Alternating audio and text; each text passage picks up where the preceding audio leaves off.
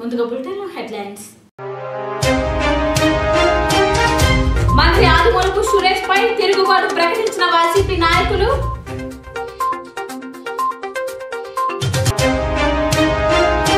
విద్యుత్ సబ్స్టేషన్ను ముట్టడించిన గ్రామస్తులు అధికారుల హామీతో ఆందోళన విరమణ.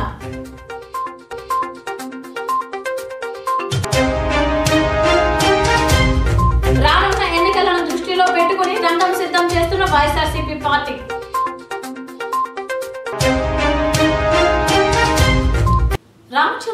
డివిజన్ పరిధిలో ఉన్న గ్రామాల్లో జిల్లా కలెక్టర్ హిమాంశు శుక్లా పర్యటించారు. మండల కేంద్రంలో తుఫాన్ సహాయ చర్యల కొరకు ప్రత్యేక కంట్రోల్ రూమ్ ఏర్పాటు చేసినట్లు రెవెన్యూ డివిజన్ అధికారి సింధు సుబ్రహ్మణ్యం పేర్కొన్నారు. Control room number zero double eight five seven మరియు two four five one double six ఈ మేరకు మంగళవారం సాయంత్రం జరిగిన అత్యవసర మీడియా సమావేశంలో ఆర్టీఓ సింధు సుబ్రహ్మణ్యం మాట్లాడుతూ తుఫాన్ ముప్పు పూర్తిగా తొలగిపోయే వరకు సహాయక చర్యలు అందించే నిమిత్తం కంట్రోల్ రూమ్కి వచ్చే ఫిర్యాదులపై కంట్రోల్ రూమ్ వద్ద ఏర్పాటు చేసిన ప్రత్యేక సహాయక బృందం స్పందించి తక్షణ సహాయం చర్యలు చేపట్టడం జరుగుతుందని అన్నారు. తుఫాను హెచ్చరికల నేపథ్యంలో పరిస్థితులను నిరంతరం గమనిస్తూ అవసరమైన సహాయక చర్యలు చేపట్టేందుకు సముద్ర తీర మండల ప్రధాన కేంద్రాల్లో కంట్రోల్ రూమ్ ఏర్పాటు చేసినట్లు వారు తెలియజేశారు. అందరికీ నమస్కారం అండి. నేను ఆడియో రామచంద్రపురం సింధు సుబ్రహ్మణ్యం. ఈరోజు మనకి ఒక ప్రత్యేక ఒక చాలా ఇంపార్టెంట్ Um, అనౌన్స్మెంట్ చేయాలి.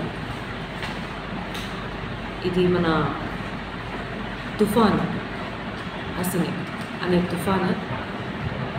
మన వైపు బే ఆఫ్ బెంగాల్ మనకి అక్కడ పుట్టుకొచ్చింది. అక్కడ నుంచి మనకి కాకినాడ వైజాగ్ తగులుతూ కోనసీమ వైపుకి వస్తుంది. ఈ తుఫాన్ అనేది మనకి కొన్ని స్పీడ్లో కొన్ని ప్రాబ్లమ్స్ మన ఫీల్డ్ లెవెల్లో కానీ మన రైతులకి ప్రజలకి కొన్ని మనం ప్రికాషన్స్ తీసుకునేటట్టు చూసుకోవాల్సిందిగా కోరుకుంటూ కొన్ని విషయాలు ప్రత్యేకంగా చెప్తాను. మనకి ఇప్పుడు కంట్రోల్ రూమ్ అనేది మనం పెట్టాం. డివిజనల్ లెవెల్లో ఒక కంట్రోల్ రూమ్ పెట్టాము. అదేవిధంగా మండల్ వారిగా ఒక కొన్ని కంట్రోల్ రూమ్ అనేది పెట్టాం ఎప్పుడైనా ఏదైనా జరిగినట్లయితే ఎమర్జెన్సీ కేసెస్లో ఖచ్చితంగా కంట్రోల్ రూమ్ని ఇమ ఇమీడియట్గా కాంటాక్ట్ చేయండి. మా divisional control room number zero double eight five seven two four five one double six. ఈ నంబర్కి కాల్ చేస్తే మేము వెంటనే ట్వంటీ ఫోర్ సెవెన్ అనేది మేము క్లాక్ వారీగా పెడుతున్నాం. కాబట్టి మీకు ఎ- ఎటువంటి ప్రాబ్లమ్స్ ఎటువంటి ఇబ్బందులు ఉన్నా కూడా మీరు ఇమ్మీడియట్గా ఈ నంబర్కి కాల్ చే చేసుకుంటూ మీ ప్రాబ్లమ్స్ అనేది మీరు చెప్పచ్చు. మండల వారిగా కూడా బీఆర్ఓస్ కానీ తహసీల్దార్లు కానీ ట్వంటీ ఫోర్ సెవెన్ మీకు అవైలబిలిటీలో ఉంటారు. ఈ తుఫాన్ అనేది కోనసీమలో కనీసం రెండు రెండు రోజులు కానీ మూడు రోజులు కానీ తగులుతుంది. కాబట్టి మీరు అందరూ ఇంట్లో ఉంటే ప్రికాషనరీగా లోపలే ఉంటే మీకు ఎటువంటి ఇబ్బంది కలగకుండా అదేవిధంగా మీకు ఈ తుఫాను వల్ల మనకి చెట్లు పడడం కానీ మనకి చాలా ట్రాఫిక్ ప్రాబ్లం కానీ వస్తుంది. కాబట్టి నేను ఆర్డీఓ పరంగా ఆల్రెడీ నేను ఆర్ఎండ్బి డిపార్ట్మెంట్ అదేవిధంగా ఫైర్ డిపార్ట్మెంట్ వాళ్ళకి ఇన్స్ట్రక్షన్స్ ఇచ్చాను. వాళ్ళు అలర్ట్లో ఉంటారు కాబట్టి ట్రీస్ అనేది పడితే ఇమీడియట్గా క్లియర్ చేసేటట్టుగా మేము చూస్తాం. మా కోనసీమ వైపు చూస్తే చాలామంది రైతులు ఉన్నారు తుఫాన్ అన్నప్పుడు మొదటిగా రైతులకి చాలా ఇబ్బందికరంగా ఉంటుంది. అది మనం అది సహజం. అది అందరికీ తెలుసు. కాబట్టి ఒకటే పాయింట్. ఇక్కడ మనకి వరి అనేది నిలబడుతున్న వరి అనేది ఆ వరి మనం డ్రైన్ వాటర్ డ్రైన్ అనేది ఫస్ట్ మనం చేయవలసిన పని. వాటర్ డ్రైనేజ్ ఆల్రెడీ మీకు రైతులకి అందరికీ తెలుసు. వాటర్ డ్రైనేజ్ అనేది చేస్తే మీకు కొంతవరకు డ్యామేజ్ తక్కువ పడుతుంది. అదేవిధంగా ఫంగస్ ఆల్రెడీ క్రాప్కి ఫంగస్ అనేది రాకుండా ఉండాలి అంటే ఫంగిసైడ్ ఒకటి ప్రత్యేకంగా మీరు కొనేసి స్ప్రే చేస్తే మీకు ఎటువంటి ప్రాబ్లమ్ గుంటూరులో విషాద ఘటన చోటు చేసుకుంది. గుంటూరు నార్త్ సెంటర్ దగ్గర గుంటా గ్రౌండ్ ఎగ్జిబిషన్లో ఎస్ఎస్ అండర్ వాటర్ టనల్ ఏఎస్పీఓలో అగ్ని ప్రమాదం సంభవించింది. వెంటనే స్థానికుల సమాచారం అందించడంతో అగ్నిమాపక సిబ్బంది అక్కడికి చేరుకుని మంటలను అదుపు చేశారు. అంబులెన్స్ కూడా అందుబాటులోకి వచ్చింది.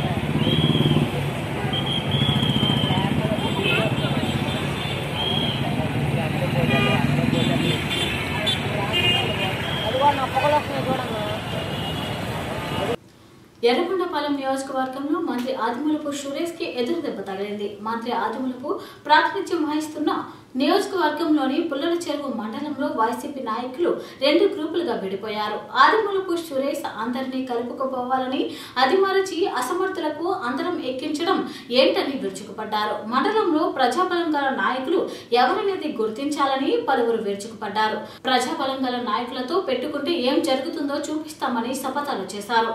మూడేళ్ళుగా ఎన్నో అవమానాలు భరించమని అర్హత లేనోళ్ళను అందరం ఎక్కిస్తుంటే ఓటర్లు నవ్వుతున్నారని మంత్రి రాజకీయ చేస్తుంటే తెలిసి జరుగుతుందా తెలియక జరుగుతుందా అనేది అర్థం కావట్లేదని పలువురు ధ్వజమెత్తారు. మంత్రి ఎప్పటికైనా గుర్తించి ప్రజాబలం గల నాయకులను చేరదీయకపోతే మంత్రికి తీవ్ర నష్టం జరగక తప్పదని హెచ్చరించారు.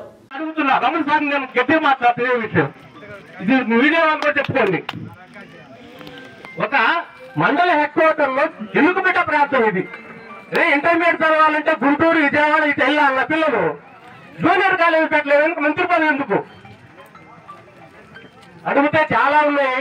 రేపు గడప గడపకు వేశారు ఈ వర్గం అంతా పాల్గొనకుండా రేపు ఆయన పెడితే ఎవరు పాల్గొన కాకండి అప్పుడు ఆయన ముందుకు వస్తాడు. ఎందుకు రావట్లేదని ఆయనకు అర్థమవుద్ది ఆయన ఆయన రాగానే రుకుతారు అందరూ. ఏందో మరి ఫోటోలు సీరియల్కు నాకేం అర్థం కాదు. మినిస్టర్ రాగానే అందరూ గబ గబ గబ గబ ఉరుకుతారు ఎవరికి అర్థం కాదు. అంతే. ఇది అర్థం చేసుకోవాలి మన కార్యకర్తలు మొత్తం అర్థం చేసుకోవాలి. మెయిన్ నాయకుడు అర్థం చేసుకొని నాయకుడు మనకు అండగా ఉండి మనందరూ ఆయన అండగా ఉంటాం. మరి ఆయన ఉంటాడా ఉండడా ఆయన చెప్పాలి ఇప్పుడు. ఈ సభాపూర్వకంగా చెప్పాలని నేను కోరుకుంటున్నాను. సెలవు తీసుకుంటాను కాదు పింఛన్ కోసం పోరాడాలా?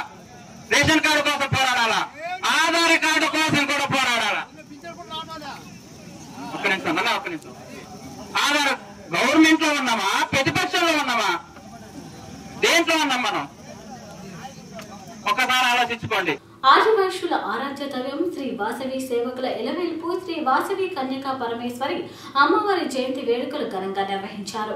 గోకవరంలోని శ్రీ వాసవి కన్యకా పరమేశ్వరి అమ్మవారి ఆలయం నందు అర్చకులు కన్యకా పరమేశ్వరి అమ్మవారికి తెల్లవారుజాము నుండే కుంకుమ పూజలు అభిషేకాలు నిర్వహించారు.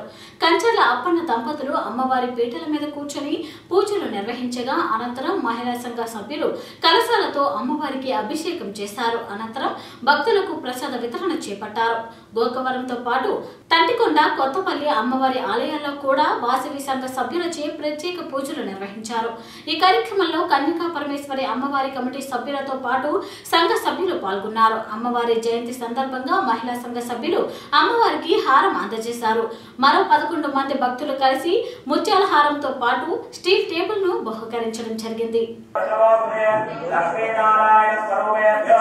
దేవదేవతాభ్యో నమః గీతాలు వినిపించండి అదే తెలుసండి రోజు వస్తుంటే ప్రభుత్వం కొత్తగా వేసుకోవడానికి వేయించారు అంతేనా వాస్తవం అయితే అది కాదండి ఇప్పుడు భగవంతుడు నమ్ముతున్నాం కదా ఏం చేయాలి నమ్ముతున్నాం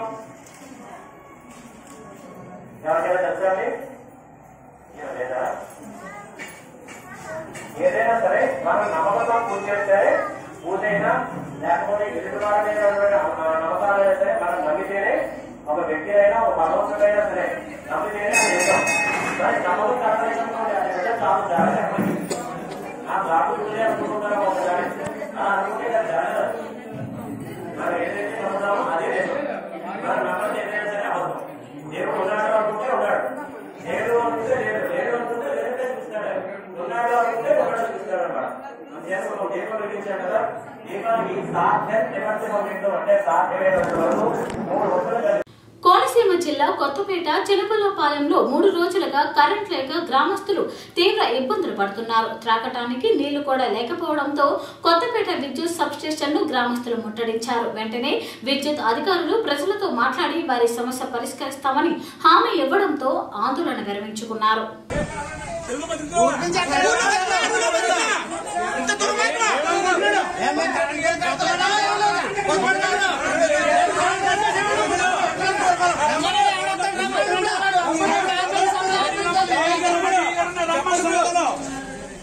మూడు రోజులు. అయిందండి మూడు రోజులు ఒక రోజు.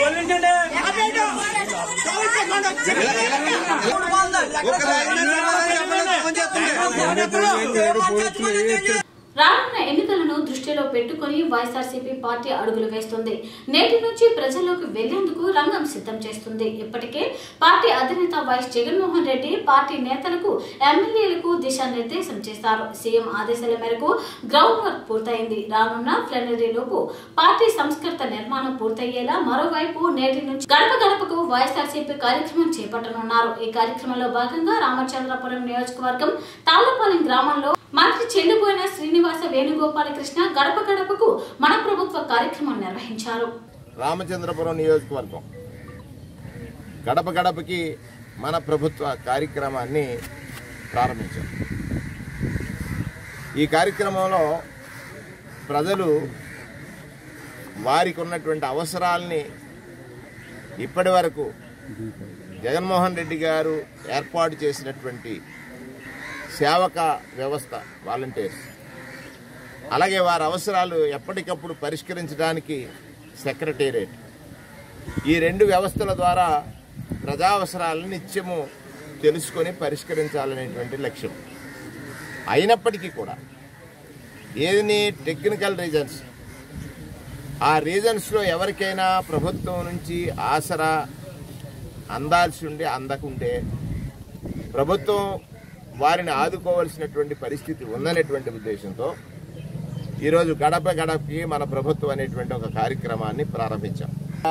ఈ పేదలకి ఈ మంచి జరుగుతుందనంటే తొమ్మిది సంవత్సరాల కాలం వైఎస్ఆర్ కాంగ్రెస్ పార్టీ గెలుపు కోసం పనిచేసినటువంటి స్వార్థరహిత కార్యకర్తలు వైఎస్ఆర్ కాంగ్రెస్ పార్టీ కార్యకర్తలు. అందరం కలిసి తాళ్ళపూడి గ్రామం తాళ్ళ పాలెం తాళంపాలెం గ్రామంలో ఇంటింటికి వెళ్ళినప్పుడు చాలా తృప్తిగా ఉంది. ఎక్కడో రైల్వే కట్ట పైన టెక్నికల్ రీజన్స్ ఇల్లు రాలేనటువంటి ఒక మహిళ చెప్పినటువంటి మాట విన్నాం. కొండేపి మండలంలోని వేంచేసి ఉన్న శ్రీ ప్రసన్నాంజనేయ స్వామి దేవస్థానం ఎనిమిదవ వార్షికోత్సవం సందర్భంగా స్వామివారికి విశేష పూజలు నిర్వహించారు. భక్తులు గ్రామ ప్రజలు అధిక సంఖ్యలో పాల్గొని స్వామివారిని దర్శించుకున్నారు. శ్రీ ప్రసన్నాంజనేయ స్వామి దేవస్థాన కమిటీ ఆధ్వర్యంలో శ్రీ సీతారాముల వారి కళ్యాణ మహోత్సవం నిర్వహించడం జరిగింది. ఈ కళ్యాణాన్ని చూసేందుకు భక్తులు అధిక సంఖ్యలో పాల్గొన్నారు. అనంతరం స్వామివారిని దర్శించుకునేందుకు వచ్చిన భక్తులకు అన్నదాన కార్యక్రమాలు చేపట్టారు.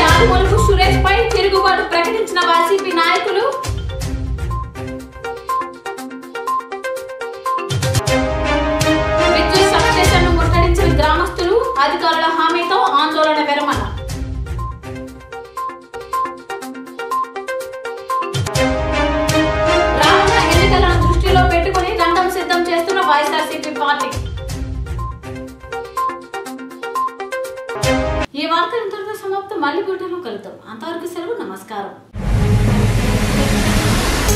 జర్నలిజమే శ్వాసగా అక్షరాలే అభ్యుదయంగా స్థానిక సమస్యలు మరియు సామాన్యుల మనోభావాలపై అనుక్షణం అసలైన సమాచారం ఆవిష్కరిస్తూ సామాన్యుడి కష్టం నుండి ఇష్టం వరకు వారధిగా నిలుస్తూ మీ ముందుకు వచ్చింది